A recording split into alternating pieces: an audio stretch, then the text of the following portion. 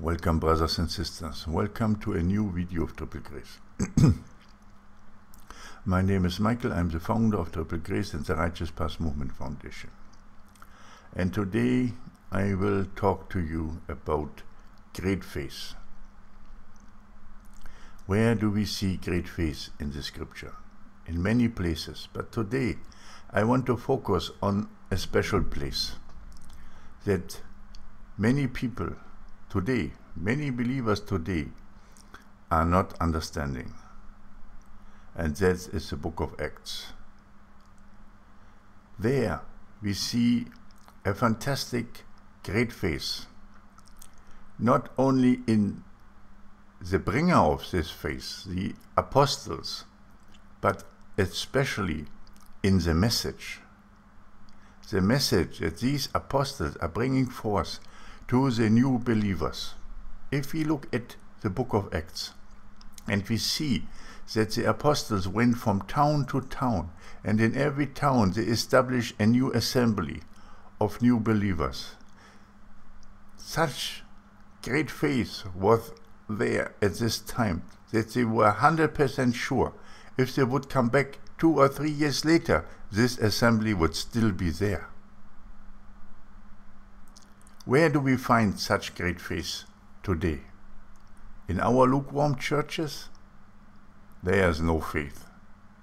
There's only maybe hope, but there's no faith. What was his faith? If we look at what is written in the book of Acts and how the new believers and these assemblies are described, it is so amazing. There it is said that they have everything in one accord.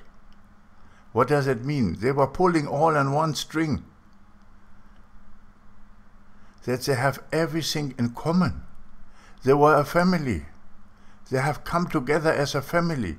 Where in our lukewarm churches do we see a family? On the contrary, in these lukewarm churches they are starting to fight one another for positions. That's a great shame. Where is the great faith of the book of Acts. They had all in accord and everything in common. And then we come to something that most people nowadays would reject and would never accept. They shared resources with one another. They had such great faith in their new life. They were born into something new and they had received a message of power and glory from the apostles and they had so much faith in it that they went home and sold their houses and plots at this time. That was the only great thing they had. They sold houses and plots they had and took the money and laid it at the apostles' feet. Such a great faith, because they knew that these apostles were anointed by the Most High. They had received the Holy Spirit and they knew that the message was true and they had great faith in it. They believed 100% and they were all in. But today, hmm, brothers and sisters, today who, who is willing to sell his property and to lay it at the feet of an apostle? Who of you have ever done this? Nobody would come forth. I, in my over 40 years of experience in the ministry, I have never seen a person who have done this. Not even one. And I was all over the world in the ministry, in building communities, in many, many nations. I have never seen one person. So the question is, as it is written in the scripture, when Jesus will come back, will he will find face on earth? And if we look at this, the answer should be no. He will find hope, but he will not find faith. Because faith means that you are all in, powerfully all into the message. And that you're willing to give everything, that you give up your all. These people, the first Christians in the book of Acts, they were willing to give away everything old not only that the apostles came out from their jobs and followed Jesus wherever he was going, that's also a pattern to the 144,000.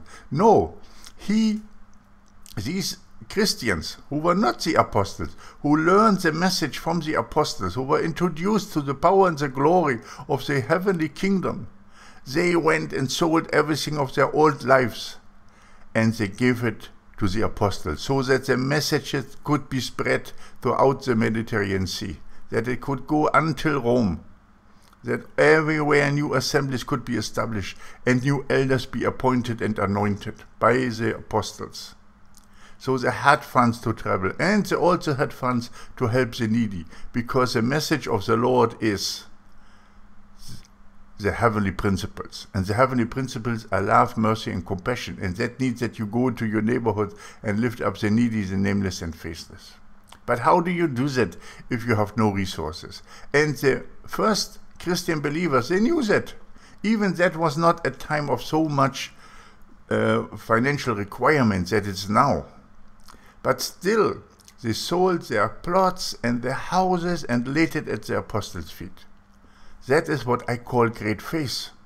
Because they were all in, they were completely sold to the message, completely sold to Jesus Christ, completely sold to the kingdom of heaven. And they also had great faith in the people who brought the message to them, who said, Yes, we have received the message from the Lord. And therefore they laid the money at the feet of the apostles because they knew they could trust them, because the Lord has trusted them also. Now you would say, oh, these people who bring the message today, they are not in direct contact with Jesus. Who is telling you that? From where do you know that the message that these end time apostles now are bringing forth to you are not inspired by the Holy Spirit and are not coming from the kingdom of heaven? What, can, what results will be there? Are they talking about the kingdom of heaven or are they talking about the world? do not compare different fruits. If you go to the churches, these people are talking about the world.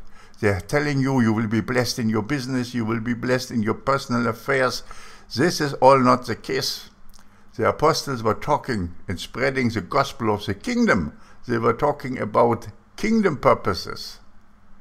So now, if you find an apostle today, an end time apostle, I guarantee you that he will only talk about the kingdom of heaven and how this kingdom of heaven will come onto the earth now and how heaven and earth will now converge together. He will talk about that and not talk about a coronavirus and not talk about worldly affairs and not talk about worldly things or your worldly business. I know this is tinkling your ears, but that is not great faith. That is only hope. Great faith is in the kingdom of heaven. And you all want to be accounted worthy, brothers and sisters. But how can you be accounted worthy to escape all these things if you have no great faith? So these first Christian believers were completely sold out to it. They were newly born into something new, and they sold everything and laid it at the apostles' feet, and they supported one another. Also, this we do not see anymore. Where in the church would you support your brother that's sitting next to you in the bench? You would not. When the sermon is finished, you say, Oh, good sermon, Pastor. Sorry. And then you go home. And you forget about your brothers and sisters in the church benches. Where is it that you come together? Where is it that you support one another? Where is your holy place? Without all this, you cannot show forth great faith. So let me put it together.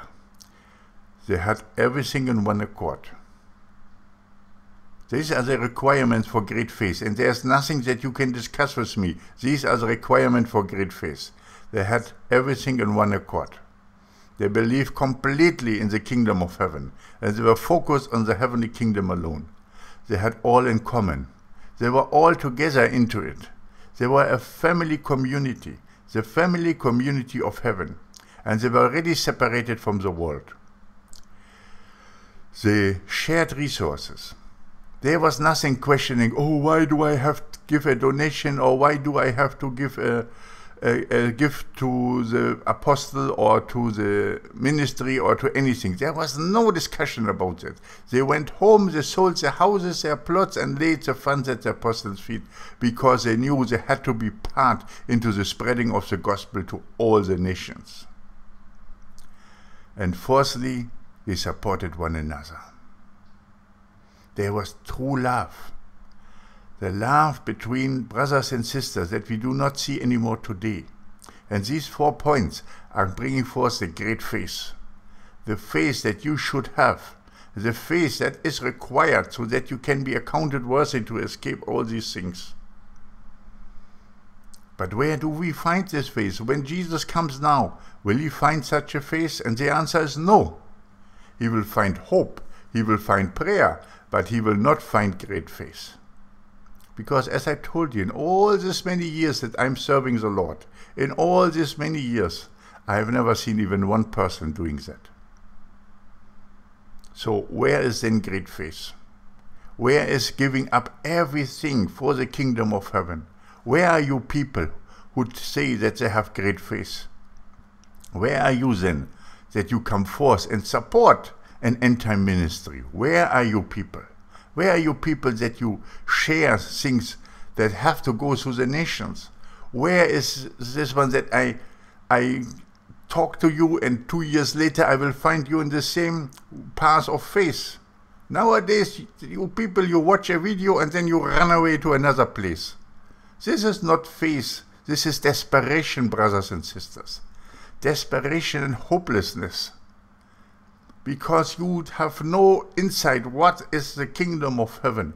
You do not operate in the heavenly principles. You have no faith. If you would have faith then everything would come through for you and and you would walk in the same power and glory as the first Christian did. But you don't. You have created yourself a facade. You have created yourself a theater in your lukewarm churches where you have appointed one person to make a, a show for you every Sunday. And then you forget about it. That is not great faith. Great faith can move mountains. Great faith can bring you through all obstacles. Now, if you want to have great faith, you need to have everything in one accord, come together, share your resources without discussion. Don't say, oh, we don't want to give anything. Now, if you not want to give anything away from you, then you are not worthy to be part of the kingdom of heaven or walk in the footsteps of Jesus. What has Jesus said to the rich man in one of his parables? He said, Go and sell everything you have and then give it to the poor or give it to the needy. That's exactly what they also did at this time, and then follow me. So, are you willing to follow the Lord now, to walk in his footsteps now? What about you people who say you are going into the rapture now?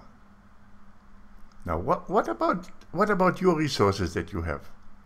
You cannot take them to, to the kingdom of heaven. So what are you doing with them? You just leave them behind and for for for lying around? Why are you not supporting the end time harvest workers with it? Where is your faith? You say you are going into the rapture. Sorry. Early as now Pentecost, or shortly thereafter. And then you are gone to heaven. But if you have that faith, brothers and sisters, why are you not using your resources and then pro provide the resources for the people who will do the end time harvest work here on earth, who will remain behind? Like here at Triple Grace.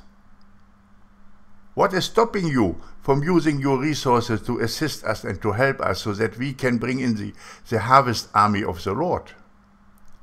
You know. You know that you go into the rapture.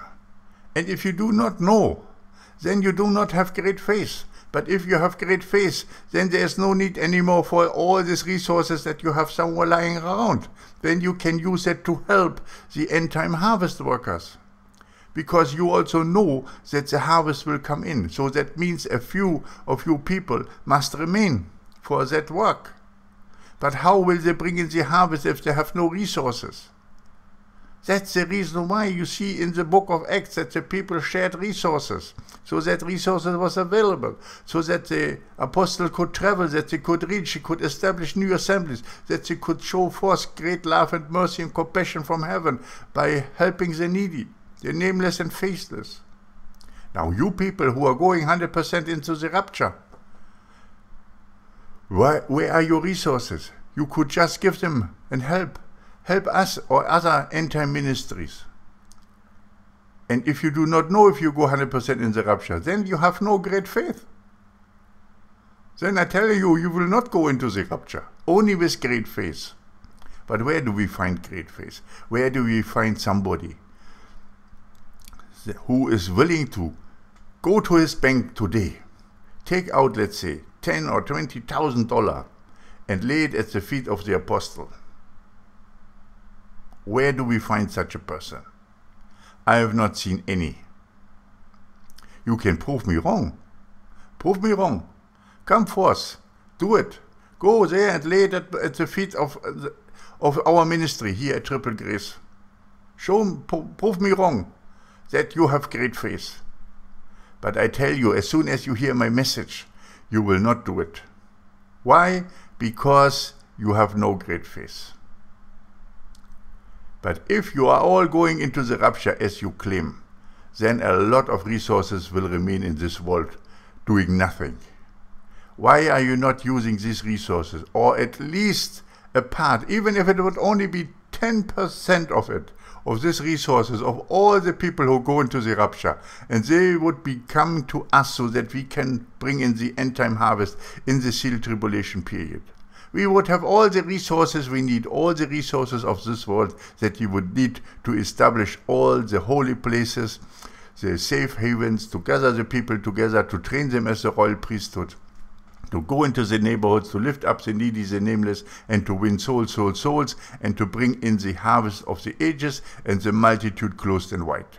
We would have enough resources for a worldwide operation if only 10% of all the resources that these people would leave behind who are going to the rapture now would come to us. So then where's your great faith, brothers and sisters? Where's your faith? If you have a 100% faith that you go into the rapture, that you are accounted worthy because of your lifestyle, because of your belief, and because of what you have done, then there is no question that you could give 10% to Triple Grace to help us in the end times, to help us that we can pass through the seal tribulation and that we can bring in the harvest of the ages for Mount Zion. If you're 100% sure, if you're operating under great faith. But I tell you, I haven't seen anybody who has that great faith. So, you brothers and sisters, if you're under my voice and listen to it and you have that great faith, then prove me wrong. Show to me that you can do that.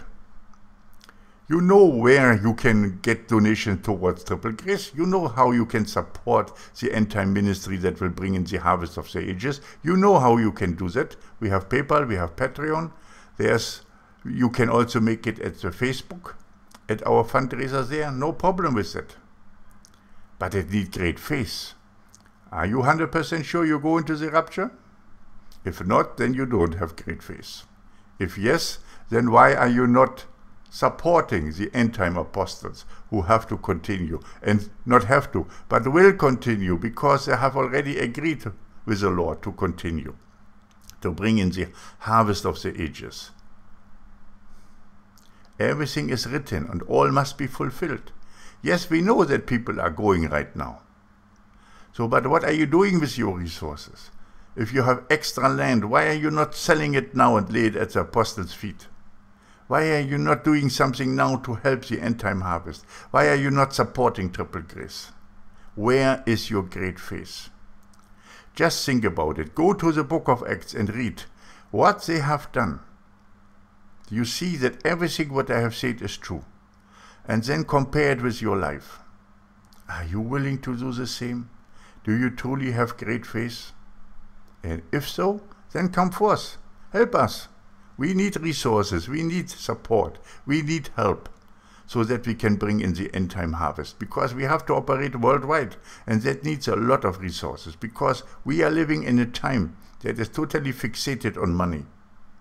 You can't do anything, not even registering a place to, to do the holy work without paying fees for registration and everything. So without resources, it's not possible to make it. And you, you will have, you will leave resources behind that will just go down the drain because you go into the rapture. So what are you doing with your, your obsolete resources? Come forth, lay them at our feet that we can use them. Have faith that the end time harvest will also be brought in. You know that there are more than one rapture. So if this now is the first rapture, what we call the escape, then we have the, the great multitude, and then we have another one.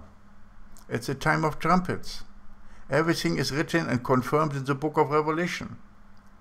Now, if you're going now already into the third heaven to be with the Father, then bless us with your resources that otherwise are lying dormant.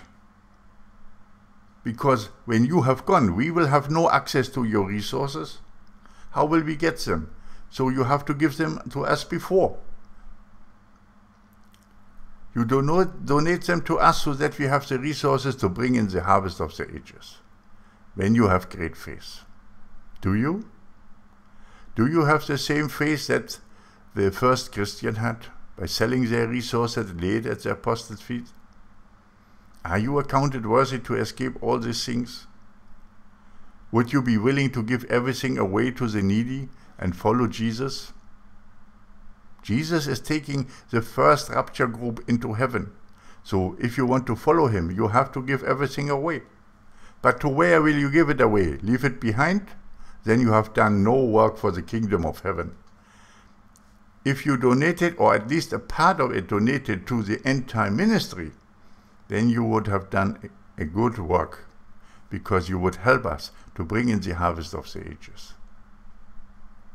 And I think you cannot doubt any of my words. Look at our channel. If you look at our over 1000 videos now, they are all about the same issue. They are all about the end time harvest. They are all about the end time apostles. They are all about bringing heaven down onto the earth. They are all about revival and winning souls. So there could be no doubt that we are one of the end time movements of the Lord and that we are called to bring it into action. But we need your help, especially from these people who are going into the rapture right now. Where is your face? Great faith is required to go there. So compare it with the book of Acts. See is how your life is. Think about it. And then I'm waiting. I'm waiting to be proved wrong. I'm waiting for you, brothers and sisters, to show your face. At least a part of your wealth that you still have that will just go down the drain when you go into the rapture. At least a part you can donate to Triple Grace to help us in the end time movement of the Lord. So let me see if there are anybody with great faith. I will put the links to Patreon and PayPal in the first pin comment again. So come forth, be part of it. Show forth that you have great faith. Be blessed in the Lord. Maranatha.